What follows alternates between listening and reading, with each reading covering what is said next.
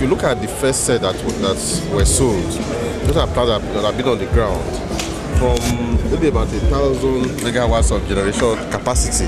Some of them had dropped to as low as a hundred because there was no adequate maintenance. And uh, so that's why I said the best way to go is to privatize them, so that the company that is buying them, because they know that if they are not generating properly, they cannot make their uh, profits.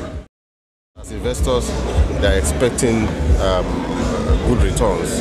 And because they are expecting good returns, they will be able to maintain the plant and be able to ensure that there's, um, uh, there's constant power for our people to use we are taking the right step in the right direction. Uh, the determination of the current government to make sure that we have a transparent process in the marketing and sale, eventual sale of these power plants where Nigerians will eventually access uh, energy, uh, sustainable energy in this country is welcomed by all and should be supported uh, by all and sundry uh, so that uh, we, we, put this in the past because once we have a sustained energy supply in this country, uh, the issues of unemployment, issues of poverty will be a thing of the past because uh, lack of power is what is our problem in this country really. And so I'm happy that uh, today we are flagging off the process of the sale of the NIPP projects in the country.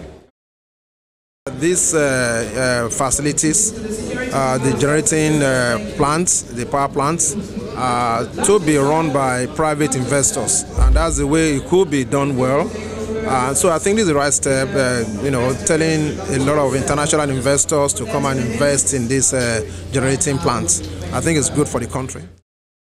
This is going to be the most transparent process. Already it was started with the discos and the gencos that were privatized under uh, the power holding, which no person questioned. This will even be more transparent. That was a very transparent process.